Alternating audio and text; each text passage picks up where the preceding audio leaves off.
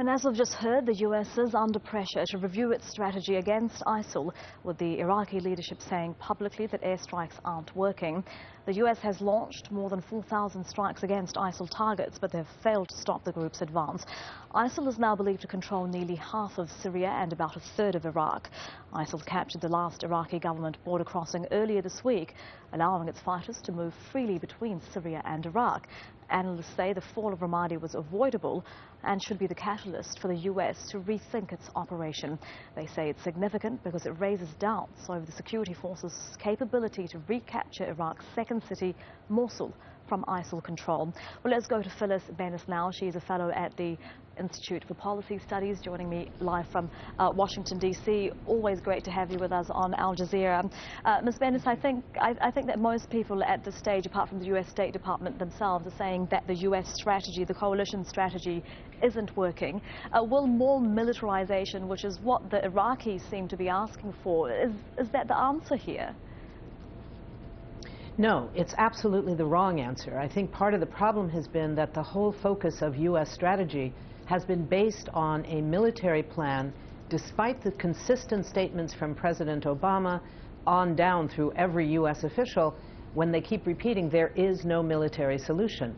And yet, all of their actions are military. It's not surprising that they are losing. Uh, it's a very fluid situation on the ground. At any moment, one or another uh, position of both ISIS and the U.S.-backed Iraqi uh, military could shift. But the overall problem is that a military solution is not possible. What we're hearing now is that the main response of the U.S. to the seizure of Ramadi is to send a thousand new uh, anti-tank missiles. Now that's going to decimate the city even further. It's not going to solve the problem. Uh, and yet this seems to be the only thing that the U.S. Is, is planning to do. We're hearing that Russia is now sending arms to the Iraqi military.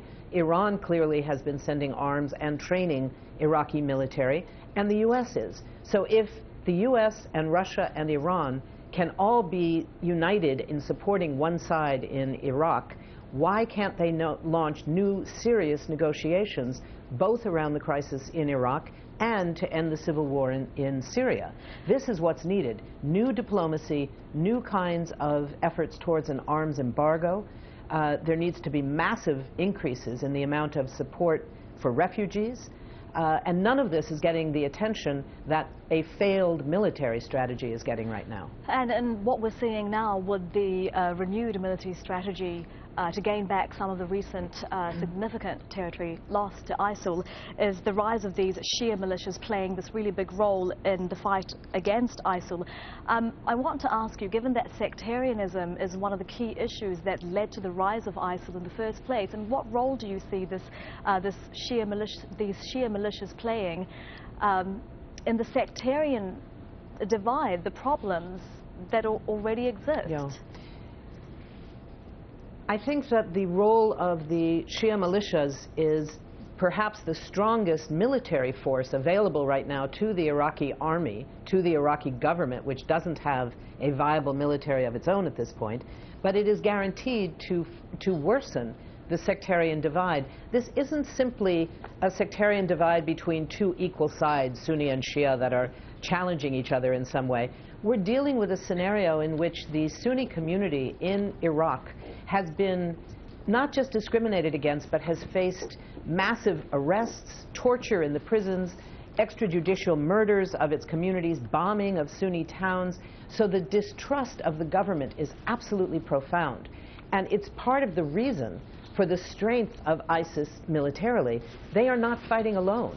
They are getting support from military leaders who were once part of Saddam Hussein's military, who provide military strategic planning, training, etc. They are getting support from Sunni tribal militias and, and Sunni tribal leaders who don't agree with the extremism of ISIS, but see it as a lesser evil to this incredibly sectarian government, who even with the new prime minister, Prime Minister Abadi, talks a good talk about the need for unification, the need for ending sectarianism, but the practice of his government, the actions of his government, particularly if you look at the military and the intelligence agencies, has not changed since the bad old days of Nouri al-Maliki.